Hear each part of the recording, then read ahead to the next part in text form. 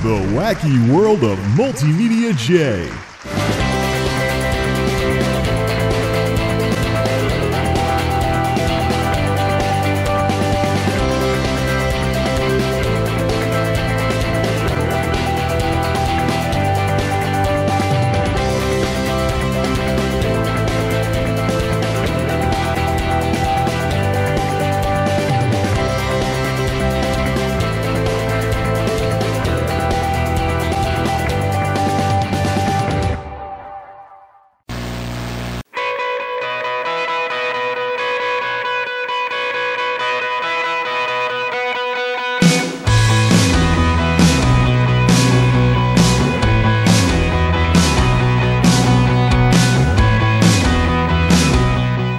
the mad rappers in the neighborhood have forced my hand. I'm keeping the Logitechs. I'm curious what kind of potential the subwoofer at 10 inches ported in that thing and 188 watts max, what kind of potential could that have for use as a powered subwoofer to turn on and off when I feel like being extra bassy? Yeah, let's just say that the mad rappers with their system have been getting on my nerves a few too many times. Which gets me wondering I'm normally not a bass nut, but could I possibly have a system with three or four subs going at the same time? Boy, would that make the bass non directional. Another plot twist. On second thought, no, I'm not keeping those Logitechs. I just hooked them back up and I decided to Kill-A-Watt those things, and I found out not only are they rough around the edges and very deserving of the moniker loud tech, but they're not very power efficient either. Uh, for example, remember how the home theater in a box is powering the main system, including the newly rewired for passive Klipsch sub, capped out at 40 watts when I cranked things up to about half volume or so on this thing? Uh, keep that number in mind. So, we got the analog extender thingies going all the way out to the back of that with Vibe Vibetrax's Take You loaded in Winamp. This is that pseudo dubstep something or another that has a decent chunk of bass in it. The interesting part, if we remember with the uh, newly rewired Klipsch passive, is that this thing goes down to 25 hertz. So, I don't have it cranked really high, but we, of course, we do know it dips down into the 20s. The thing is, that thing over there allegedly stops around 30 hertz or so. So let's go analog with this thing. Alright. There we go. The amp is now going out to analog. I only I don't need both systems at once for this, so I'm being lazy and doing one or the other. So the amp is now, you know, doing the headphone jack thing. Now let's go over to the sub and see what it does for bass. Alright, so the song is playing while it's looping over the analog line. So, no power draw so far, but that's because the amp is hard switched off on this thing. Look what happens when I actually turn the thing on. The lights dim a little, and just by turning it on, we go up to 25 watts, or 16 watts, 15 watts, etc. But this is the thing. This kind of power draw, when turned off, is worse than the computer I built in 2005, which is like at 10, 11 watts when it was completely turned off. All this so you can have a soft on switch on the control module. So already, I mean, not looking good. So let's turn this thing on. We got in stereo. We got some bass coming through it already. I already set this so uh, no settings, level. Um, the subwoofer is maxed and the surround is all the way down. No center or anything it's not 5.1 and we're not using any Pro Logic or anything. It's currently in stereo. So anyways, already just by turning it on without even cranking the volume, we're up to 45 watt draw on this thing. So let's crank things up even more. Yeah, this isn't a bassy part of the... Oh, there it goes. A lot of air through the port. Definitely some bass, but notice how we're hitting triple digits on the wattage. 100 plus watts on the electricity side for 188 going through. Yeah, it's a 10 inch speaker, but this is. you consider that my main system, turn that off. My main system caps out at 660 watts at 6 ohms for the speakers and sends about 80 to 100 something watts. Uh, the 85 was a conservative estimate that I was reading earlier. it sends 80 to 100 something watts to the sub when it's in passive mode. And turning everything on all the way, cranking everything up, we had a hard time getting out of the 40 watt range. it's insane. I mean, loud tech and, uh, well, cheap, cheap, cheap, and more cheap. That's what you get for a cheap amp. You do get some bass, though. Come on. Let's turn this all the way up. Oh. I gotta get some test tones. Not much coming out of it.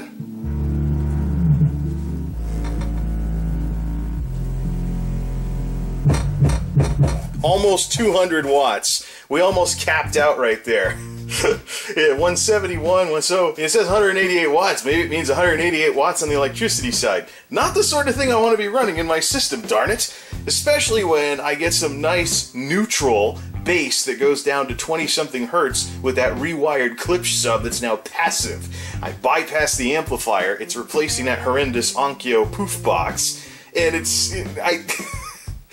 it's insane. Lots of bass though, but at a very steep price. Let's turn it off. What's that number? It's, it's almost like a cable box. Well, at least it goes down below 20 watts when it's turned off. But this is rubbish. To be fair though, the Klipsch Pro Medias, the 4.1s, are actually idling at 20 something watts too. So it's it's ah, this old computer speaker technology, gotta love it. Well, this thing is actually several years newer than the Klipsch Force, but uh, yeah, that's why I'm that's why I'm hard switching the amp in this Pro Media 4.1 with the power strip over in the project area and using this for the test setups and things like that. But let's turn it on. Got some stuff coming out of there. Let's jack the sub all the way. But notice what's not happening. The sub's all the way up. Let's crank the volume.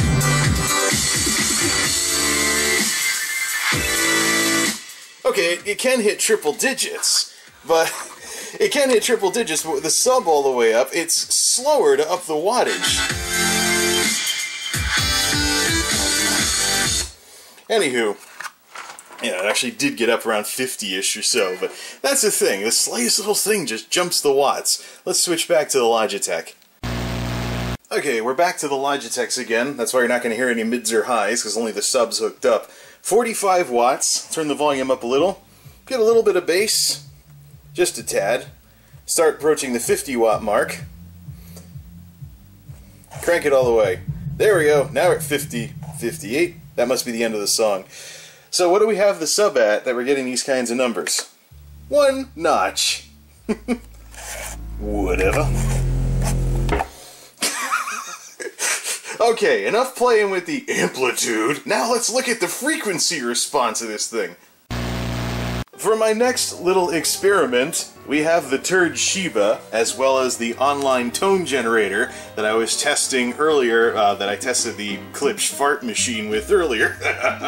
the old 4.1s. It's currently spitting out 40 hertz, so um, the speakers are turned off, of course. Let's see how low it goes, at least before it loses its tone.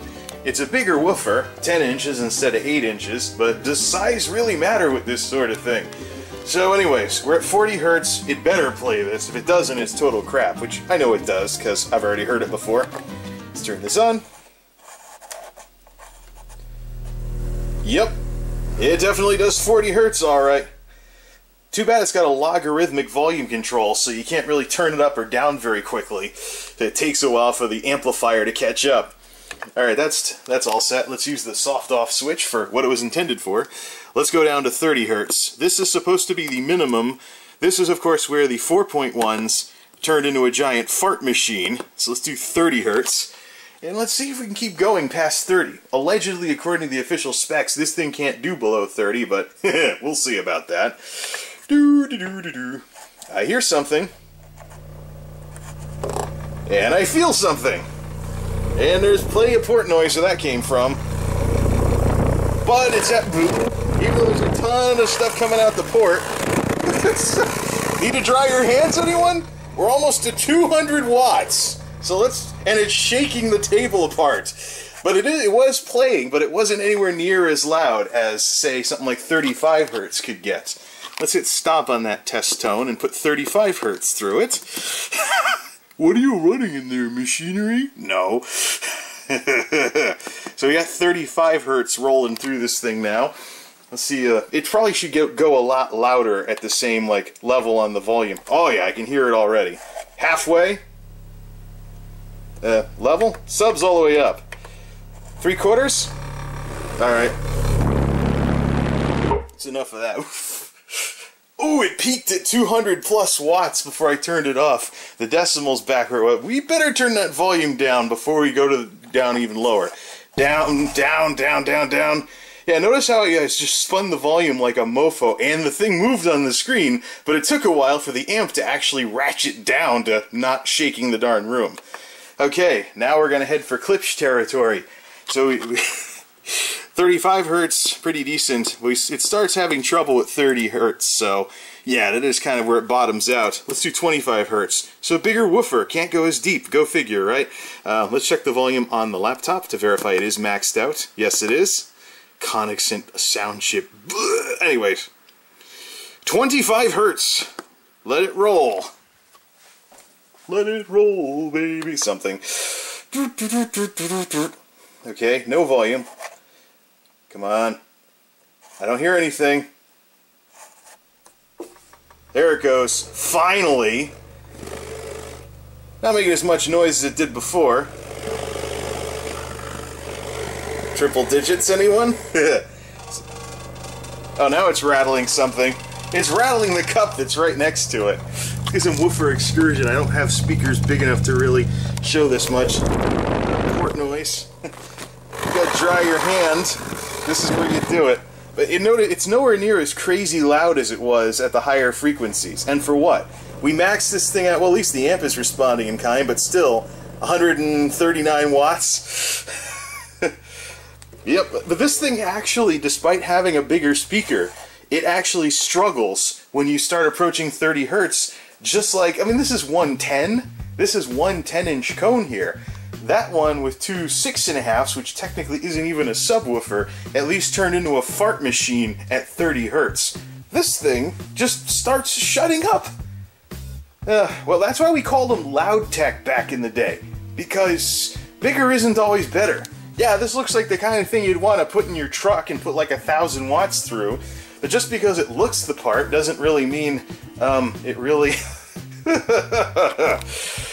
so yeah, it does have. I mean, at say 40 hertz and up, it'll shake the place, especially if you put it in a corner. Usual subwoofer rules apply, but. Uh, I'm not so sure the triple digit wattage on top of my existing system really justifies this. Okay, we're back to the main system. That thing's on loop, same as it was before, and this time the Kill-A-Watt is hooked up to the main system and we're at 41 watts. So for speaker settings, I've got the front two set to large, so those woofers can get in on the action. Not the best setting for it. Everything else is set to small. I also wonked out the crossover, or maxed it, I should say, at 200 hertz, which I would absolutely never use under normal circumstances because that's too high. 80 hertz is more like it. Double bass is on, so the large speakers will do bass in addition to sending it to the subwoofer. So there should be quite a bit of wattage going on here. Let's get out of this, and uh, you can hear the hear a little bit of bass already without pointing the camera at the thing. Uh, do we need the light on for this? How does this look? Oh, yeah, we'll go with this. So we're at volume 3 and 42. Let's start turning things up a bit. Now on the audio side of things, I do have some DSP elements in play. The bass is jacked, the treble is all the way down, and the subwoofer is jacked. Center is zero, dynamic EQ, da da da. Volume has a little bit of compression going on for the quiet stuff recorded at line level. X bass is like a bass boost for the whole system, turned on cinema fill, etc., etc., etc. But the point is, this thing is like made to be like a truckish system, and it's at 40 watts to start with. Let's start turning some volume up here. 20. So now we're heading. But look at this, we're dropping back into the 50s. Let's get out of the. Wait for another. Let's restart the song. I don't want four on the floor. There we go. So, alright. There we go. Let's put some That's a lot of clipping. Okay, so we can hit 100 watts when the subs are going crazy. but that's not what I would listen to them at. Instead, doo, doo, doo, put the bass down to zero, put everything back to zero because the sound card is doing all the equalizing with its better DACs and things. Well, not DACs, it doesn't use DACs there. Doing the equalizing before encoding on the fly. So keep X bass on because I've used that from time to time. Let's go back to speaker config. Yes, large, small, crossover down to 80 hertz because non-directional only. Keep the double bass turned on. Keep the fronts at large instead of turning them down. Actually, let's do 120 hertz because the smaller speakers are Klipsch Pro Medias, which bottomed out at 100 in the crossover, and the original Speaks was at 120. Speaks? Yeah. Anyways, I'm sure I'm not the only one who calls them that. So we're neutral now. Everything's flat, which is what I usually have it at. I don't really do much through the hardware. The computer does it quite handily. But X bass is still on. Let's get some bass going here. And the bass goes away the minute I crank the volume. Start the track over. There we go. Getting some deep stuff. This is half volume. This goes up to 80. So it does hit triple digits sometimes.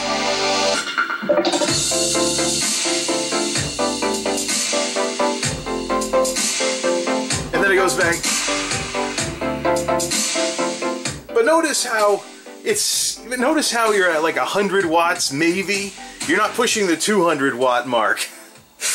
So well i mean onkyo and whatnot plus the sub is passive. The odds are the sub has less wattage assigned to it by this receiver than that logitech one does. But with the settings i usually listen to this at they're like 24 we might hit 50 watts if everything's turned on. 60 that time. Now at night, let's turn the sub off so the front, left, and right take over the bass. Yeah, lose about 20 watts, hang out in the 40s.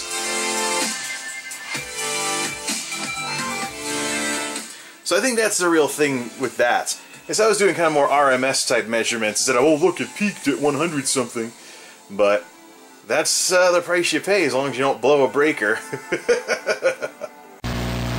We're back to the tone generator again at 30 hertz. The bass is jacked all the way on the subwoofer. 40 watts, let's turn some things up here. You actually hear it as you go up. It's rattling the TV. it's definitely rattling some other stuff too. So here we are at half volume, 30 hertz, and 120 watts. Anyways, the good news is though, this actually does hit 30. Let's drop it down to 25. Oops. 29.25? Well, that was a nice tweeter test. there it goes rattling stuff again. Well, this time it's rattling the desk. Hmm? That's half volume. It is hitting triple digits. Okay. Well, that'd be woofer excursion in action there. well, there's your 80 to 100 something watts. Alright, give that thing a rest. That was definitely something in the desk rattling this time because the thing that was rattling loose inside is now out of the device. There we go. Everything's turned off and the volume's back to 24, which is good music volume for me. I'll max it out at 30 everything's back to neutral and balanced again, and we're hanging out in the 40s and maybe hitting 50 if we're lucky. So yeah, I guess it really depends not on the volume of the bass, I mean it's fun every so often to shake a few things, but also the quality. As we saw with that Logitech, despite the bigger speaker in that thing, or the bigger cone or driver, or whatever you want to call it, it struggled with 30 hertz, whereas the Klipsch box handles it like a champ and goes down into the 20s. See, that's the conundrum that I face when it comes to neutral bass versus what the rap, the mad rappers are doing. Because I hear and what that is, that's probably the mid bass or something thumping, but I'm not hearing any of the rumbling because it's probably they got the crossover jacked or something like that. They, they just don't have it tuned very well, and that's why it's annoying. However, you can get some nice deep bass even from a passive with a, the right box. There's actually a, a video that BearVids did where he took some 4-inch woofers, built a box that let those 4-inchers go down to 25 hertz at respectable volume, and actually fooled one of his buddies, or actually I think it was his brother with him. But anyways, I still plan on double subwoofers at some point, but it's not a priority, especially when the Klipsch is a lot more accurate than the Onkyo or the Logitech, or even its 4.1 cousin. Although, if I do a bass link, I'm wondering if I should consider. Well, I have to hard switch the amp because it's not as uh, it's not as efficient as this thing is. Again, turn it off. Down goes the wattage because off is actually off on this system. Imagine that! As opposed to the soft offs on the ProMedia 4.1s and the Logitechs. So, that might be one reason why the computer shop uh, wasn't really interested in these speakers, because those Logitechs, yeah, they're loud, but they're dated. They have analog and toslink in, not a very efficient amp, so to speak. Or, well, it does hit 200 watts because it has more amperage to the subwoofer than this, what am I pointing to the computer for, than this thing would. So it's kind of a toss-up. The thing with the Logitech, though, is the bass isn't high-quality bass. It's more like, let's shake the house, ha ha, look what I can do when I put this thing in a corner. Whereas accurate reproduction of the lows, going down to a respectable hertz level, is more of what the uh, rewired Klipsch can do. And that thing's got a broken amp in it. But here I am playing that old song again. Playing that old song, it's going to the 4 on the floor part, and I'm hanging out in the 40s. Minimum I put the volume at 15, so Either way. So, it's a toss-up. I still have the original box in styrofoam for those Logitechs. But, I don't know, I'm starting to think I'd feel guilty if I ever sold those things, because not so sure about the efficiency of them. They didn't have any sats hooked up either, so with the sub cranked all the way, that thing flirted with 200 hertz, or 200 hertz, that thing flirted with 200 watts without any other channels hooked up. I wonder what happens if you have satellites hooked up to that sucker. Uh, those are questions that shall remain answered for another day. Either way, the winner tonight is, of course, my little hack job project over there, which I had to rewire earlier because something came loose outside, actually, with the hookup, but not inside. So, yeah, the hack job with the hack job Klipsch thingy wins this match tonight. yes, my desk has a lot of metal parts in it, so that's what was rattling when I took it down to 25 earlier. But the fun part is, I have this system tuned so that you pretty much won't be bothered by my deep bass unless you're stalking me right outside the house. unless you're hanging out being nosy and whatnot, you're not going to hear the bass in any way, shape, or form because it's tuned properly. It rattles the living room, but that's pretty much it. Which is exactly what I want, because unlike the mad rappers, I want to actually have some consideration for others here. So anyways, it's enough playing with speakers for one night. What to do about those Logitechs? They still look okay. I could polish them up really nice. But, uh, yeah, it's... They're, they're just a relic of a bygone era from when computer speakers still mattered, graphics cards weren't outputting audio over their HDMI jacks, and sound cards hadn't been reduced to an on-the-fly converter if you wanted to use Toslink and a gaming effects processor, so the, the, the CPU didn't really have to mess with sound too much. Definitely a bygone era, even though that's the late 2000s we're talking about. of course, it is the mid 2010s, so boy, time flies. Until next time, this is MultimediaJay, signing off. Thanks for stopping by.